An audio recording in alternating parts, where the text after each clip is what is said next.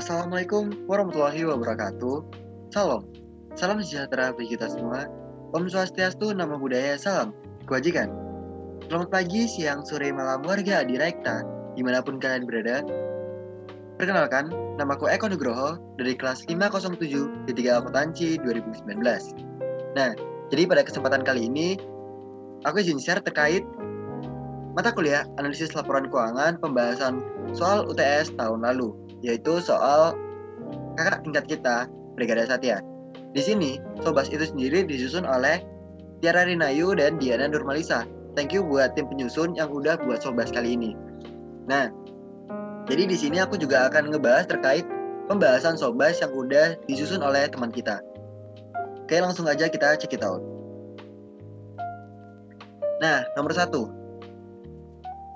Yang bukan kegunaan dalam penggunaan analisis laporan keuangan adalah ingat ini yang bukan kata kuncinya yang bukan ya berarti teman-teman. Kita lihat kalau di laporan uh, rangkuman dari Adirekta yang bukan itu adalah nah yang bukan dari analisis laporan keuangan berarti kan kalau manfaatnya itu adalah meminimalkan proses akuntansi, menurunkan asumsi, meminimalkan ketidakpastian proses akuntansi, dan meminimalkan kesalahan proses akuntansi. Berarti asumsi, ketidakpastian, kesalahan. Nah, kita cek. Asumsi, iya dia masuk. Ketidakpastian, iya dia masuk. Terus kesalahan dari proses akuntansi, iya dia masuk manfaat. Jadi meminimalkan kesalahan juga. Maka yang bukan mana? Yang D. Berarti nomor satu ini jawabannya adalah meminimalkan kerugian perusahaan.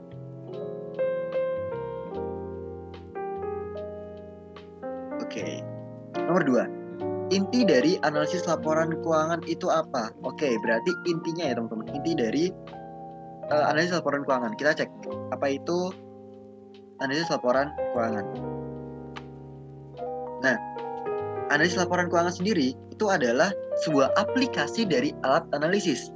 Oke, ada kata-kata uh, aplikasi dari alat analisis, ada tools analisis, ada teknik untuk laporan keuangan yang tujuan umumnya dan data-datanya itu berkaitan untuk mendapatkan perkiraan.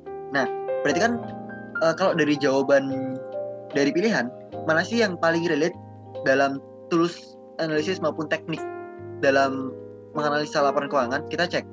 Menggunakan berbagai metode untuk mengevaluasi kinerja perusahaan dengan membandingkan berbagai data penting dari laporan keuangan. Ini kata kuncinya. Menggunakan berbagai metode untuk mengevaluasi kinerja.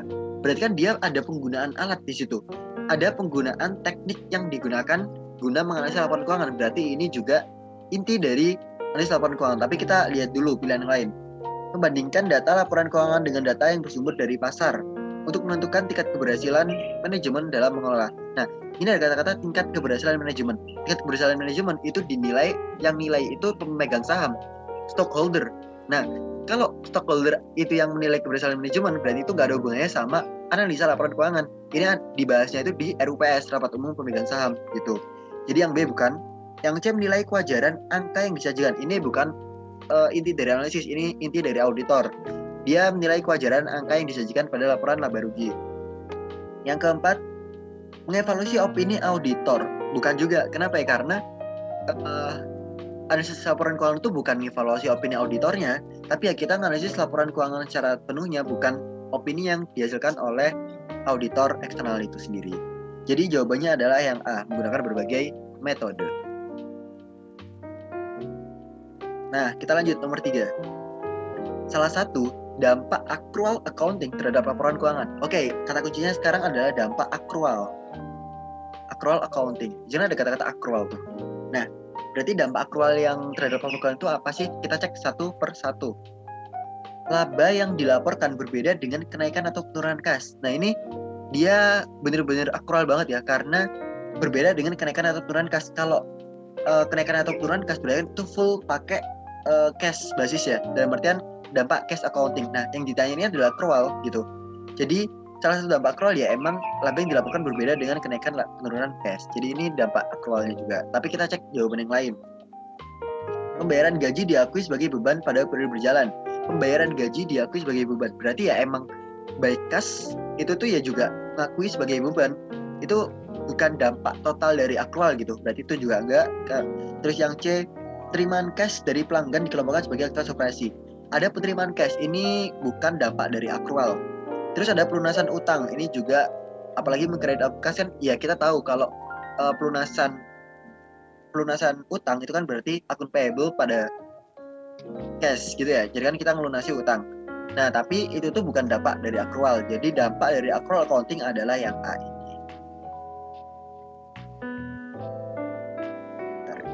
Nah, oke sekarang kita lanjut ke nomor 4.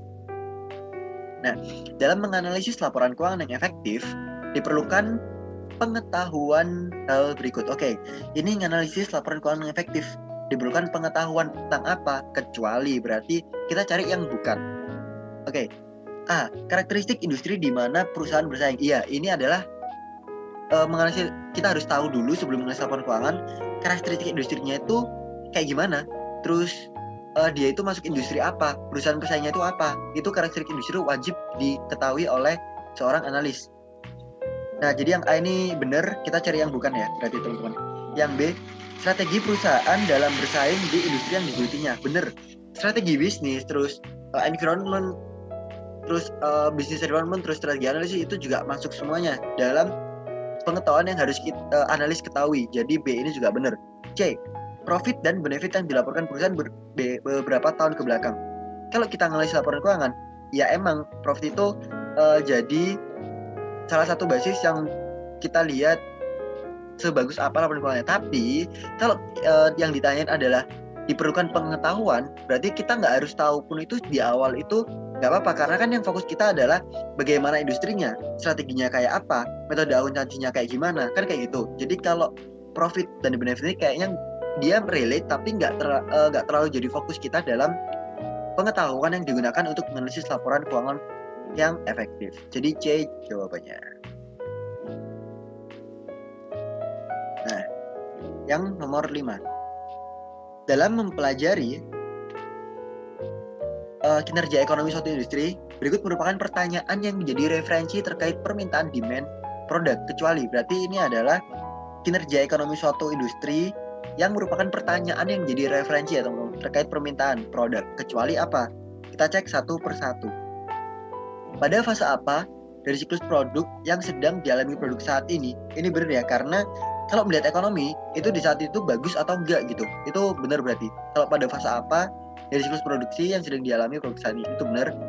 Terus yang B bagaimana hubungan antara permintaan produk dengan siklus bisnis atau ekonomi? Ini juga benar ya karena bagaimana sih hubungan antara permintaan produk dengan siklus bisnisnya? Itu kan berarti terkait kinerja ekonominya suatu industri gitu. Nah yang ditanya di sini yang bukan. Yang bukan jadi referensi terkait demand. Yang C apakah produk sangat sensitif terhadap perubahan harga atau tidak iya benar juga kenapa karena kalau dia sensitif terhadap perubahan harga itu juga mencerminkan uh, nanti fokus uh, akan impactnya itu ke demand suatu produk yang mengalami perubahan harga itu tadi. Terus yang D, apakah ada penghambat besar, ada barrier? Ini benar ya bagi perusahaan dalam industri yang hendak keluar. Oh, tidak. Ini keluar. Kata kuncinya di sini, keluar. Kalau apakah ada penghambat besar barrier bagi perusahaan dalam industri yang tidak keluar ya nggak ada. Ya kan tinggal keluar keluar aja. Tapi ada hambatan besar barrier bagi perusahaan dalam industri yang tidak masuk. Kalau masuk itu jelas ya, itu ada hambatan besar. Tapi kalau keluar ya nggak, tinggal keluar aja gitu. Jadi ini bukan. Ini kebalik ya, harusnya masuk. Oke teman-teman. Lanjut ke nomor 6. Salah satu strategi untuk mencapai keunggulan kompetitif, oke, okay, keunggulan kompetitif, yaitu cost leadership. Cost leadership itu, ini aku jelasin dulu ya. Cost, leadership itu adalah namanya aja uh, pemimpin dari biaya, penekanan biaya, dia itu merajai harga di suatu industri. Contoh gini, ada ICBP, ada Mayora, ada Unilever. Contoh di satu industri yang sama ya, produk makanan dan minuman contohnya. Nah, dari ketiga itu, inventory-nya itu sama-sama dijual katakanlah 10.000 semua sama ternyata si si ICBP itu uh, dalam COGS-nya cost-nya dalam membuat si inventory 10.000 itu cuma 3.000 sedangkan Unilever itu 5.000 Mayora 6.000 berarti kan yang paling murah dalam dan mengefisienkan COGS-nya itu si ICBP dengan kualitas yang sama ya di sini teman-teman. Nah maka ICBP itu menjadi cost leadership. Intinya seperti itulah cost leadership. Oke? Okay? nah kita cek mana sih uh, salah satu strategi untuk mencapai keunggulan kompetitif yaitu cost leadership yang di antaranya dapat dilakukan dengan cara sebagai berikut. Kecuali, oke, okay, efisiensi. Ini efisiensi produk produksi ya berarti? Iya ini benar. Kenapa? Karena strategi untuk capai keluhan kompetitif cost leadership itu kita juga butuhkan adanya efisiensi suatu produksi. Kita tahu produksinya berapa biar itu bisa menekan biaya. Nah ada penekanan biaya itulah yang bisa menyebabkan kita menjadi cost leadership di suatu industri. Jadi itu benar ya teman-teman. Yang kedua. Yang kedua menyederhanakan desain produk iya benar kenapa karena kalau desain produknya itu disederhanakan sedemikian rupa uh, suatu cost pun itu enggak terlalu buang-buang cost dan itu juga efisien di dalam costnya sehingga itu juga bisa menciptakan adanya cost leadership. Yang ketiga menekan biaya input ini udah pasti cost leadership. Yang keempat menghasilkan variasi produk. Ini bukan cost leadership, ini bagian dari diferensiasi produk. Jadi ini beda lagi ya teman-teman. Maka jawaban yang nomor 6 adalah yang D. Jadi kita harus tahu kata kunci dulu di setiap jawaban dan itulah yang akan kita pilih.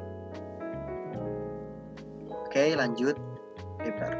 Nah, nomor 7. Salah satu strategi PT Unilever dalam menekan struktur biayanya termasuk salah satu strategi untuk capai keuangan kompetitif. Oke. Berarti ini kan kita cari strateginya ya.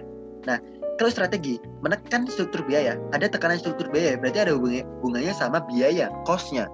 Maka ini langsung aja jawabannya cost leadership, udah jelas. Karena menekan struktur biaya. Nomor 8. Salah satu strategi PT Kimia Farma yaitu strategi bisnis hulu hilir. Oke. Termasuk salah satu strateginya untuk mencapai keluhan kompetitif yaitu hulu hilir ya. Berarti kan mulai dari awal sampai di tangan customer gitu. Itu maksudnya hulu hilir.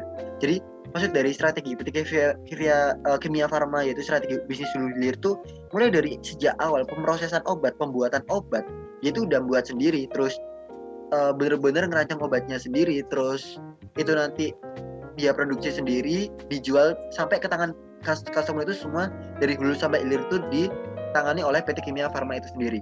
Nah itu berarti termasuk salah satu strategi apa? Cost leadership jelas. Kenapa? Karena dia produksi sendiri. Terus dia yang lebih tahu bi penekanan biayanya seperti apa. Jadi cost leadership udah jelas. Berarti kalau cost leadership udah jelas, kita cek jawaban yang lainnya.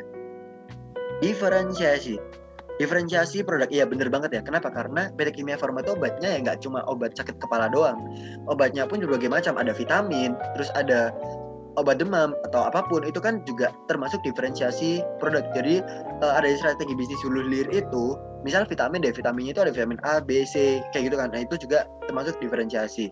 Namanya namanya juga obat. Ya udah berarti uh, cost leadership dan diferensiasi itu juga merupakan strategi PT Kimia Farma yaitu strategi bisnis hulu hilir. Maka jawabannya adalah kombinasi keduanya.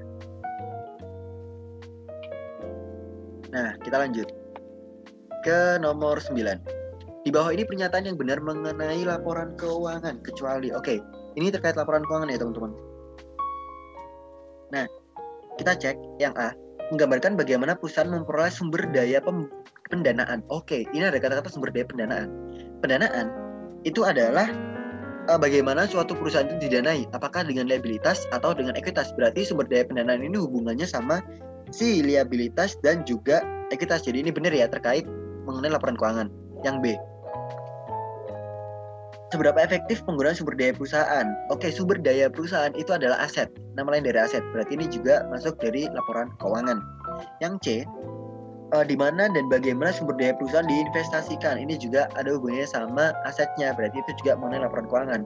Yang D, seberapa efisien penggunaan sumber daya perusahaan, profitabilitas operasi.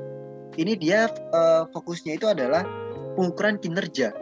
Jadi bukan bu bukan pinjaman bunga ya. Jadi kan gini ya. Pengukuran kinerja bukan menggambarkan laporan keuangannya. Kenapa? Karena kalau kita fokus ke seberapa efisien itu kan terkait kinerja, bukan ke laporan keuangan. Maka itu bukan bagian dari mengenai laporan keuangan. Jawabannya yang D. Oke. Nomor 10.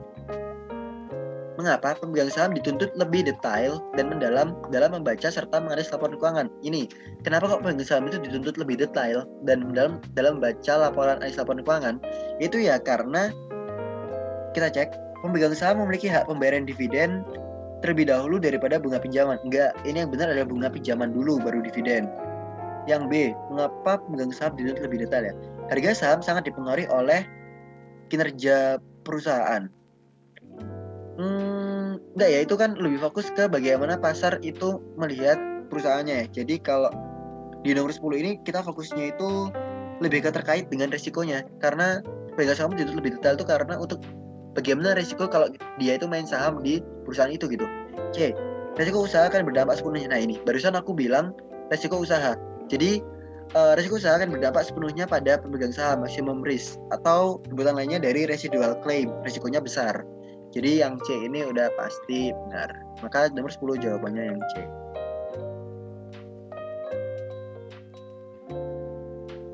Nah, jadi mungkin ini dulu terkait video pertama aku. Kita akan ketemu di video selanjutnya. Sekian dari aku. Wassalamualaikum warahmatullahi wabarakatuh.